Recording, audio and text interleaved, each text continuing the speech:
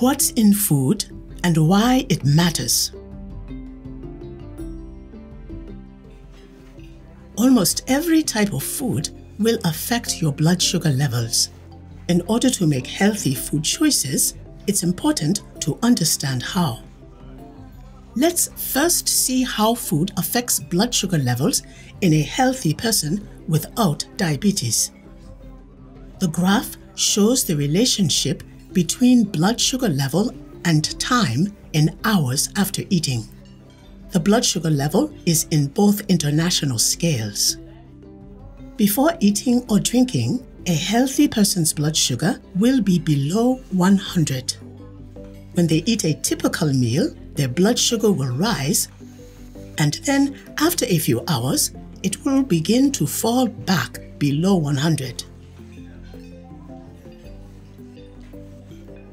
A person with diabetes, though, starts with a higher blood sugar level before they eat. When they eat the same meal, their blood sugar rises higher and it takes longer to come back to their baseline.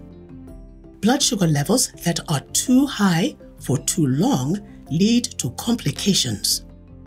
This video will show how various food groups can cause blood sugar to rise differently. There are three main nutrients within food. First are carbohydrates or starch, such as grains, tubers, vegetables, and fruits. Second is protein. And third is fat. Foods are often a mix of the three nutrients. Beans have carbohydrates and protein. Eggs have both protein and fat. Milk products like yogurt have protein, fat, and carbohydrates. Carbohydrates have the greatest effect on your blood sugar levels. These foods are broken down into sugar once you eat them. Sweet things turn into sugar, but other foods do too, like rice, maize, yam, potato, and foods made from wheat. Processed foods often contain a lot of added sugars, fat, and simple starches without fiber. These foods make your blood sugar rise high even more quickly and stay high for a long time.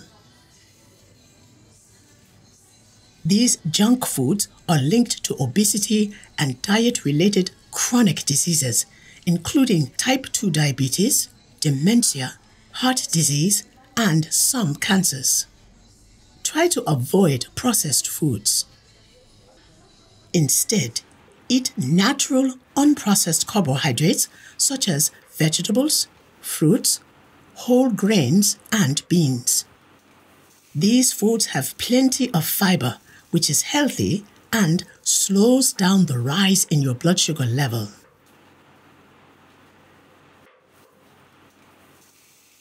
Protein has a smaller effect on blood sugar levels, and the effect tends to occur gradually over a few hours.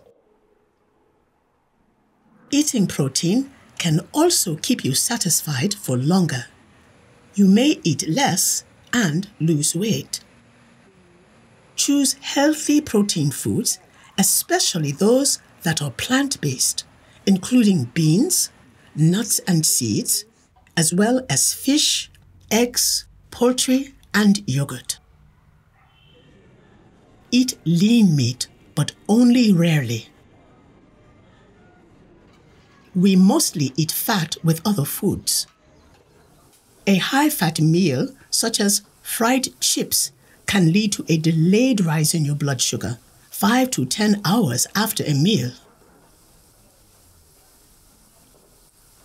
Use healthy natural oils in moderation, such as sunflower, olive, or safflower oil. Avoid processed solid fats, such as margarine. What you drink also affects your blood sugar levels. Water is best. Coffee and tea are also fine with little to no sugar. avoid sugary drinks. Soda has an enormous quantity of sugar. It makes your blood sugar rise high quickly, as well as make you gain weight and internal belly fat. Fruit juice contains natural sugar and sometimes added sugar. It also raises your blood sugar. Instead of drinking juice, eat the whole fruit with its natural fiber. Alcohol contributes to weight gain and fatty liver. It can make your blood sugar level drop hours after drinking. It's best to avoid alcohol. Your portion sizes also affect your blood sugar levels. Using a small plate, make your largest portion non starchy vegetables with a smaller amount of healthy, fiber rich carbohydrates and protein. What you eat affects your overall health, your blood pressure, your blood sugar level, the level of fats in your blood, and how well your heart, kidneys, and liver function.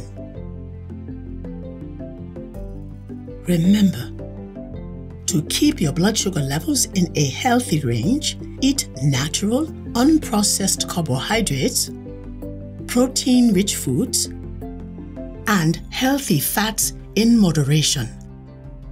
Eating healthy will help you stay healthy.